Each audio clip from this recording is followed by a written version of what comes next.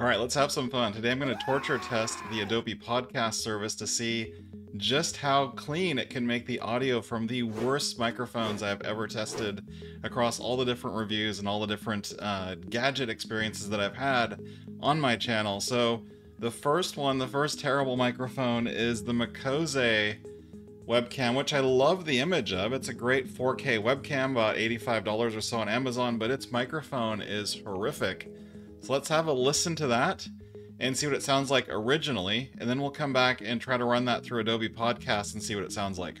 Now, the microphone was so terrible in it, uh, and I'll give you a, a taste of what that sounds like. You generally don't want to use that microphone. All right, so pretty terrible in terms of that microphone, but let's run it through Adobe Podcast and listen to it. Now, the microphone was so terrible in it, uh, and I'll give you a, a, taste of what that sounds like. You generally don't want to use that microphone. Wow, that is really, really a lot better. It almost sounds better, in my opinion, than my Shure MV7 here after it's gone through that processing, but there's more. That was kind of an easier one. So let's move up the spectrum into something else that's also a bit challenging, and you probably remember these kind of cheap, unbranded type of uh, headphones, earbuds that you'd get kind of almost with any phone in the past. Uh, they stopped shipping them with a lot of different phones these days, but usually the microphones on those are pretty bad. So I actually tested that out to try to test out how well Voicemeeter could work to fix the audio on that. So let's listen to that one, how it sounds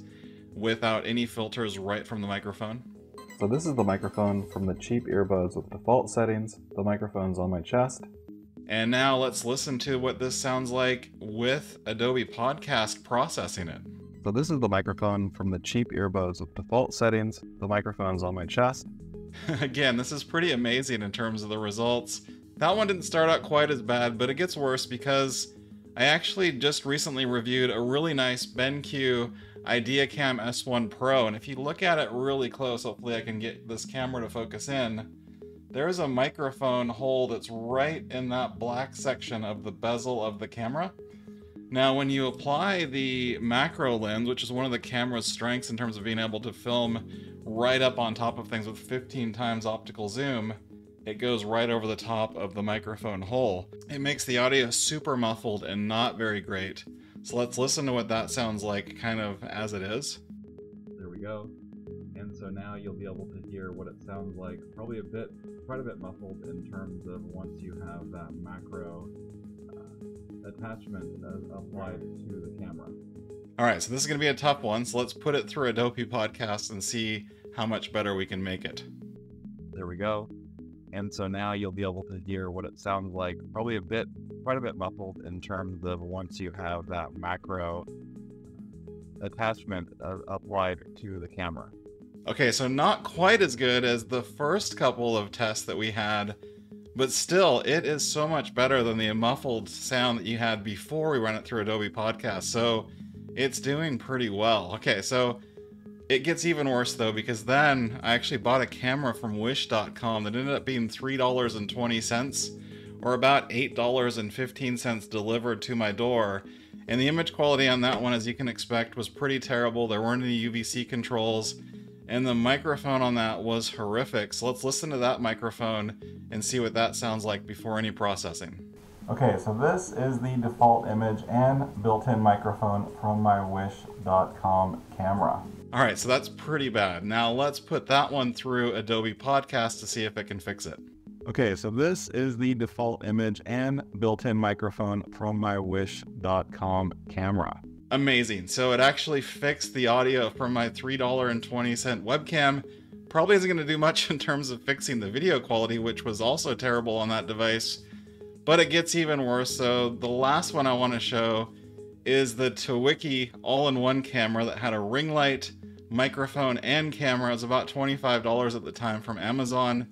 And its audio really sounded bad. I mean, it sounded like it was from another era. So let's listen to that audio first.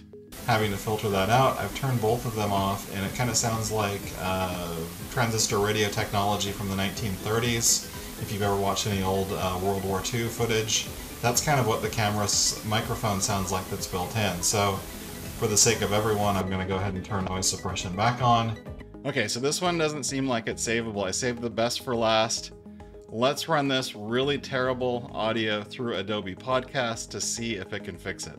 Having to filter that out, I've turned both of them off, and it kind of sounds like uh, transistor radio technology from the 1930s. If you've ever watched any old uh, World War II footage, that's kind of what the camera's microphone sounds like that's built in. So, for the sake of everyone, I'm going to go ahead and turn noise suppression back on. And it really did fix it. Like, it sounds pretty much as good as my Shure MV7. A little bit deeper tone, a little bit more radio quality podcasty in terms of its sound signature. But I gotta say, Adobe Podcast is impressive. It took a bit longer to run all those different uh, clips through. I only had about 50 to 60 seconds, but it did chew on it for several minutes in terms of getting that audio cleaned up. But Adobe Podcast is pretty amazing. You can sign up for a trial for that at podcast.adobe.com. I highly recommend it. Yes, the sound profile and everything doesn't quite meet everyone's preferences. You can see reviews on it from Podcastage and other YouTubers.